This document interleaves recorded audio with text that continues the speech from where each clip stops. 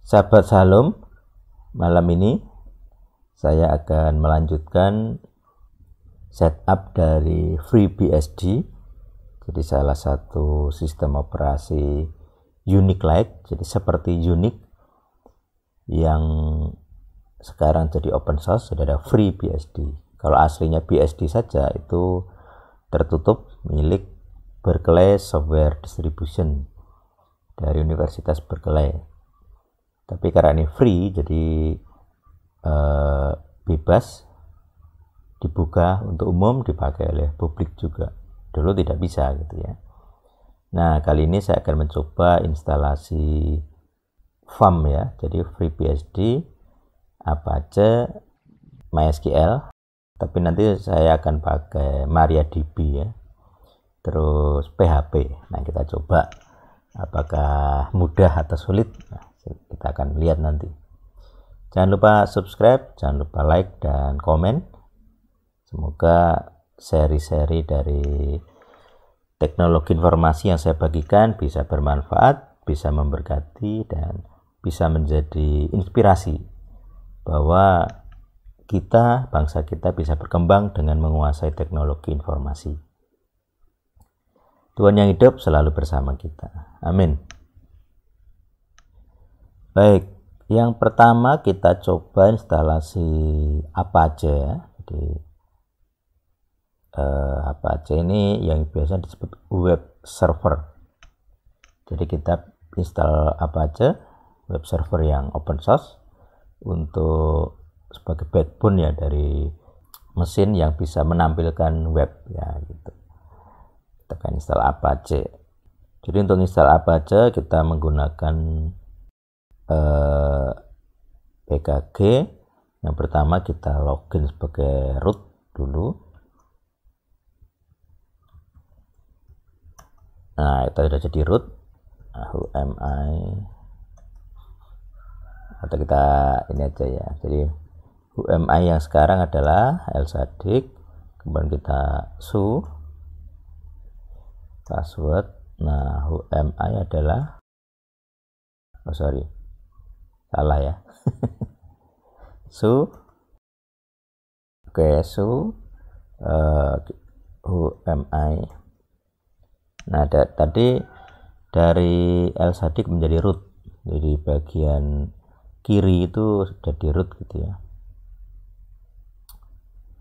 Nah, kemudian kita install Apache-nya.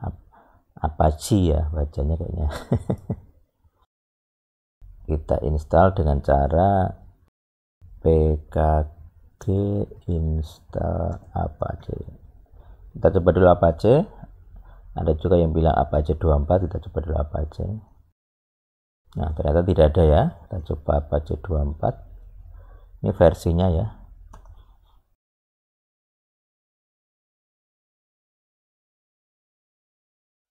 ya dia sudah berhasil mendownload dia sudah berhasil mendownload uh, beberapa istilahnya kebutuhan yang akan diinstal. Tidak ada 16 jadi ada Apache 24 APR carut NSS kemudian sertifikat core DB5, X4, GDPM, JSON, lib IND2, lib NDATTP, lib PS1, lib SS1, lib NString, lib XML2, PGRI, PGRI 2 per 15 ya ada 16 nah kemudian ada dia sebut ada 38 MB byte jadi MIB MB byte to be downloaded dia dia akan download kira-kira 38 mega nah tetapi yang yang ketika nanti diinstal dia akan menjadi 170 MB jadi dia mengembang gitu ya kita coba kasih Y yes kita tunggu beberapa lama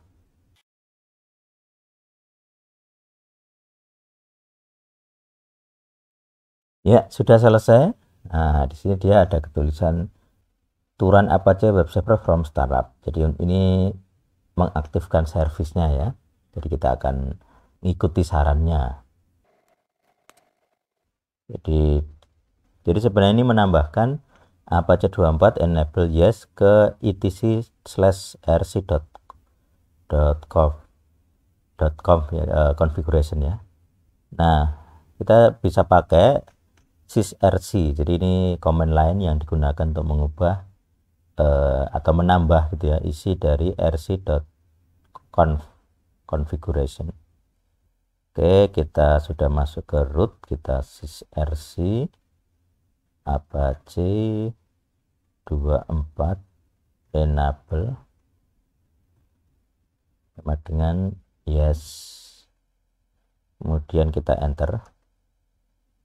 Nah di situ ada keterangan apache enable menjadi yes. Nah tadi kita sudah berhasil mengaktifkan servisnya. Kemudian kita bisa meng mengaktifkan servis dengan cara servis apache 24 start. Kita tunggu. Sanity check. Ya dia sudah selesai jadi dia uh, web server kita yang saya pakai ini tidak punya domain name. Jadi dia could not reliably determine server fully qualified domain name. Jadi karena memang tidak ada ini tidak terhubung ke jaringan yang seharusnya gitu ya Oke, dikatakan sintak oke, okay, starting Apache 24. Jadi itu settingan server name-nya itu yang dia bikin masalah. Nah, itu itu nanti bisa kita ubah nanti kalau kita sudah menggunakan. Jadi sekarang saya ingin coba yang lain, install yang lain gitu ya. Kemudian kita bisa melakukan cek uh, apakah servis Apache-nya sudah jalan beneran atau belum. Kalau di situ dia kan bilang oke okay, starting. Tapi kita bisa cek dengan cara servis Apache 24 status. Kemudian kita enter. Di situ ada keterangan Apache 24 is running SPID di proses ID 1185 jadi eh, di sini terbukti bahwa web server Apache sudah jalan ya dengan proses ID 1185 oke saya rasa itu sudah cukup kita juga bisa menguji menguji uh, koneksinya dengan di web browser ya. Saya akan tunjukkan web browsernya. Oke, nah ini saya sudah buka Firefox ya. Kita coba sesuai IP address dari FreeBSD nya 192 168 1151 kita enter. Ya. Jadi di sini tulisannya it works. Jadi tulisan it works ini langsung dari Apache nya ya dari Apache FreeBSD nya dari IP 1151 nah itu. Nah ini bukti bahwa instalasi Apache sudah berhasil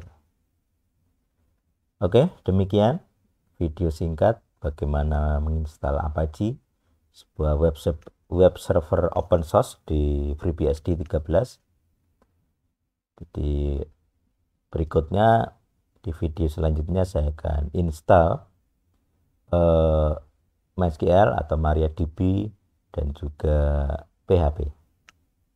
Semoga ini bisa menginspirasi supaya kita semua orang warga Indonesia mulai terlatih memiliki kemampuan teknologi informasi.